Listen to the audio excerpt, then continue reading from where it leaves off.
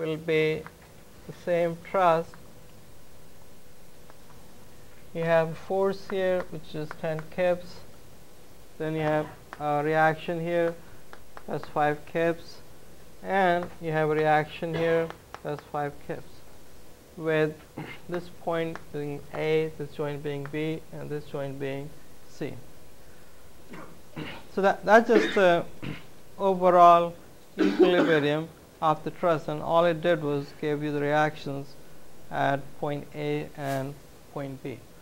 Now we're going to look at let's say joint A. See what happens at joint A. So we're going to isolate this joint and then show every force on that joint. So we have a force here that's 5 kips. Then this member AB, I mean I could take the member by itself and then place a force in the member as FAB and another FAB. And see at this point it's really not known what this magnitude is. And even this direction which I'm choosing is not really known. I'm just assuming that that particular member is in tension.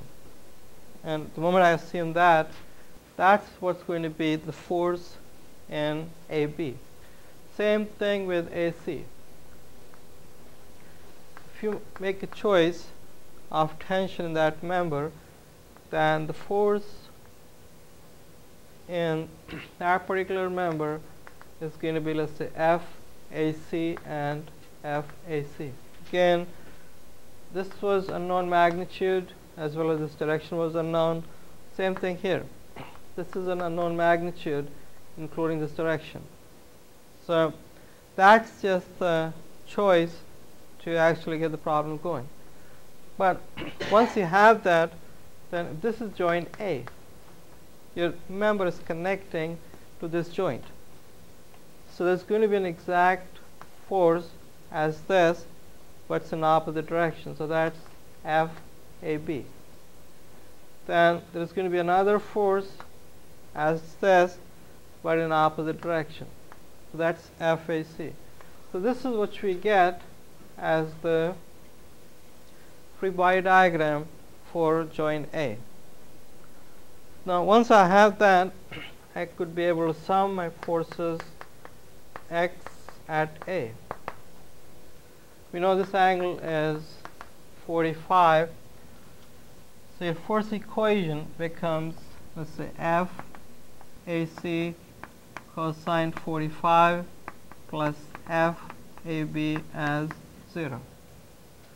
Then we're going to sum the force at the same joint in y direction. So now you get FAC sine 45 plus 5 equals 0. So from second equation we get FAC as negative 5 and you have you can divide this by sine 45 or negative 5 is square root of 2 that's in kips and the assumption was that it's in tension but it came out with a negative sign. See I made the choice here this going outward. But this came out negative so I need to switch.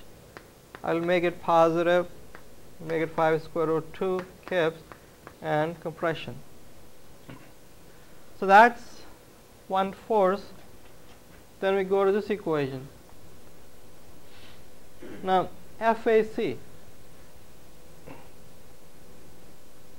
will be negative 5 root 2 then you have cosine which is 1 over root 2 plus FAB equals 0 now you, you notice this that I when I do the calculation it has a negative sign. So when I make the substitution this equation, I still maintain same sign. I mean, although I change this to compression, from tension to compression, but this equation was written with this being as the direction of the force. So when you make substitution, you still have to maintain this negative. You just can't change that sign. You had the choice, I mean you could always, if you want to use this, then you have to redraw this diagram.